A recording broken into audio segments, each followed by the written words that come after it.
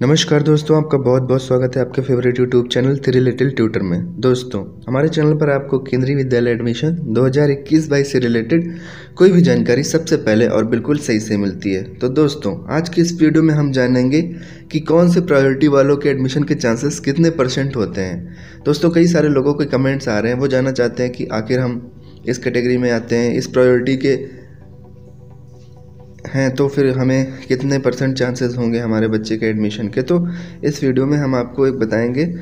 ये मेरा पिछले वर्ष का जो है वो एनालिसिस है, उसके आधार पर मैंने एक कंक्लूज़न निकाला है, जिसके बेस पे मैं आपको बताऊँगा। इसमें थोड़ा बहुत डिफरेंस आ सकता है, क्योंकि भारत क्या है कि एक विविधता वाला देश है। यहाँ सभी स्टेट में स्थितियाँ अलग अलग होती हैं।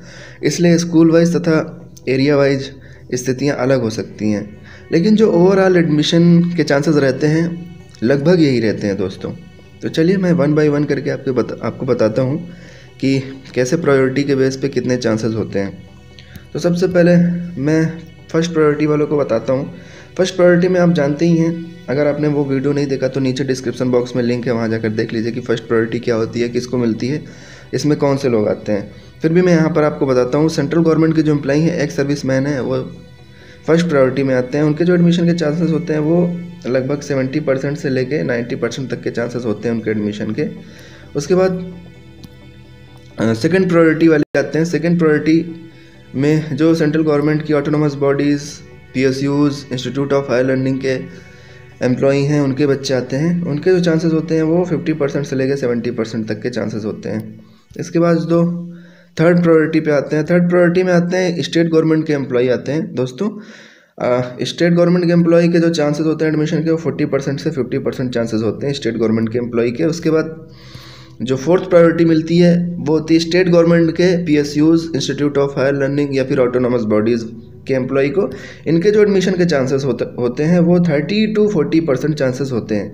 इसके बाद जो सबसे कम प्रायोरिटी वाले होते हैं फिफ्थ प्रायोरिटी जिसमें लगभग इन प्रायोरिटी इन प्रायोरिटीज़ को छोड़ के बाकी सारे लोग इसमें आ जाते हैं तो उनके जो चांसेस होते हैं वो बहुत कम होते हैं, उनके ट्वेंटी फाइव परसेंट से थर्टी परसेंट तक के चांसेस होते हैं। तो आप देखते हैं कि प्रायोरिटीज़ के हिसाब से जो चांसेस होते हैं एडमिशन के, वो घटते चले जाते हैं। दोस्तों तो ये तो बात हो गई जो जिनको प्रायोरिटी मिलती है या फिर जो सर्विस वाले हैं उनके।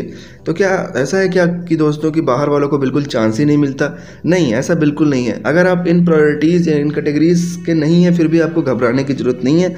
आपके भी बच्चों का एडमिशन होगा। क्योंकि पच्चीस प्रतिशत जो सीटें होती हैं, वो आरटी कोटा के तहत रिज़र्व होती हैं दोस्तों। तो पच्चीस प्रतिशत सीट्स जो होती हैं वो पहले ही निकाल दी जाती हैं। बाकी जो फिर बची हुई सीट्स होती हैं, उनमें ये कैटेगरी और प्रायोरिटी वगैरह लगती है। जैसे कि मैं एग्जांपल दे के आपको बताऊँ, किसी केंद्रीय विद्यालय में सौ सीट्स हैं तो उसमें पच्चीस सीट पहले ही निकाल दी जाएगी। उसके बाद जो बची पचहत्तर सीट्स हैं, उनमें ये कैटेगरी और प्रायोरिटी वगैरह चलती है। तीन परसेंट सीट डिफरेंटली एबल के लिए भी रिज़र्व होती है दोस्तों। तो इस तरीके से आपके भी एडमिशन के चांसेस बनते हैं। अगर आप अगर आप जनरल कैटेगरी से बिलोंग नहीं करते हैं तो और अगर आप रिज़र्व कैटेगरी से बिलोंग करते हैं तो आप जो है पच्चीस प्रतिशत सीट्स आपके लिए ही होती है केंद्रीय विद्यालय में। अब रिज़र्व कैटेगरी होती हैं general E W S general के अंतर्गत जो ई डब्ल्यू एस में आते हैं जनरल में जो आर्थिक वर्ग से कमज़ोर लोग होते हैं, वो रिज़र्व कैटेगरी में आते हैं। O B C non creamy layer S C और एस टी और कुछ डिसएडवांटेज ग्रुप भी होते हैं, जैसे कि अनाथ हैं, बेघर हैं, श्रमिक बच्चे हैं, श्रमिक के बच्चे हैं, प्रवासी मजदूरों के बच्चे हैं। तो इस तरह के लोग आ, मतलब कि 25 परसेंट जो सीट्स हैं वो उसका लाभ ले सकते हैं। तो दोस्तों ये था। मैं थोड़ा सा आपको क्लियर करना चाहता था कि क्या चांसेस रहते हैं एडमिशन के। ये बिल्कुल एग्जैक्ट तो नहीं है लेकिन लगभग इसको मानकर हम चल सकते हैं कि इतना परसेंट जो है चांस रहता है। दोस्तों thank you so much for watching अगर आपको हमारा वीडियो पसंद आया हो तो लाइक कर दीजिए। चैनल पर नए हैं तो सब्सक्राइब कर लीजिए। And press the bell icon ताकि कोई भी इंपॉर्टेंट नोटिफिकेशन आपसे छूटे ना। Thank you so much for watching.